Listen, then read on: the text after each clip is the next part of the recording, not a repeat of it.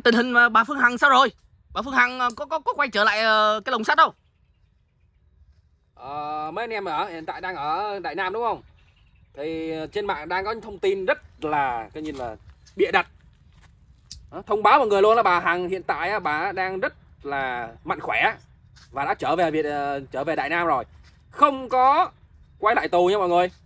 Những thông tin trên mạng là những cái thằng coi như là uh, như Đinh Lan nè, mấy đứa này nó chống phá này, nó nọ kia đó là nó nó, xuyên tạc đó. Và nhiều uh, hôm nay tôi tới đây uh, thì tôi thấy rằng là anh em youtuber ở tại Đại Nam là rất là đông. Cũng thông báo với anh em đó là bà Phương Hằng bà sẽ không có lên những cái uh, điện thoại cho mọi người ghi hình quay phim nữa đâu. Bây giờ người ta là muốn yên ổn rồi. Bà Hằng á, bà Nguyễn Phương Hằng á, với ông Dũng Lò Vôi á là người ta muốn yên ổn rồi. Họ mọi người thấy rằng là ông Dũng Lò Vôi đó. Đợt rồi á làng nủ á. Chi số tiền 5 tỷ mà còn không cần phải lên hình cầm cái bảng như như cái đứa phong bạt. Mọi người thấy không? À giống giống cái bọn ờ, nghệ sĩ nó phong bạt uh, 500 thành 500 triệu hả? Ừ, giống như Hoàng Hường ấy à. cho cho một tỷ cũng cầm cũng ra đứng rồi lên hình chụp hình. Phạm tội cũng vậy. Đó thấy bà Hằng không? Bà Hằng với ông Dũng là vôi không? Đẳng cấp không?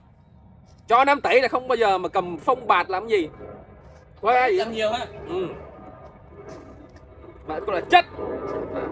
Chính nghĩa là phải như vậy Vậy gọi là chất mọi người.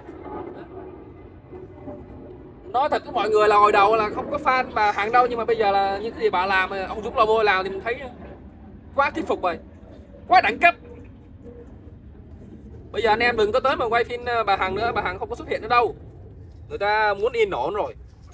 Người ta không có muốn uh, sóng gió nữa rồi à. Nên là bà con anh chị em cô bác à, tới Đại Nam chơi thôi chứ đừng có mà mà mà quay phim đấy nha mọi người. Còn về phần à, bây giờ hiện tại là bão lũ. Mà Hằng nghe nói là sắp sửa là có sẽ có một cái à, cái chuyến à, bay chuyến bay ra ngoài Đà Lạt Nũ để coi như là là tiếp tục hỗ trợ tiếp tục hỗ trợ bà con mọi người thấy là bây giờ là nhìn là Phan Phong nè thằng ờ, thám tử thám tử thúi gì nè. Rồi những cái kẻ mà youtuber hồi xưa chống ờ, chống bà hằng á bây giờ cũng đã như là, là im rồi. Nghe nói bà hằng ờ, về quê rồi nghe nói bà hằng về đại nam là bắt đầu là là, là bỏ. Tụi này là nó nó nó, nó sợ lắm mà nó sợ khớp vía mà tại vì một khi bà hằng đã ra rồi thì bọn này là chỉ là con tép riêu thôi. Quay trở lại cái vấn đề đó là thằng phan phong hồi xưa. Ủa phan phong hồi xưa nó chửi bà hằng đúng không? Đúng đúng đúng đó. Im giờ im phán phát rồi giờ nó có lém lên gì đâu. Nên là bà con cô bác hãy thật sự là bình tĩnh là cũng như là nghe thông tin từ à, hai chiều nha mọi người đừng có nghe bị đặt của tụi nó.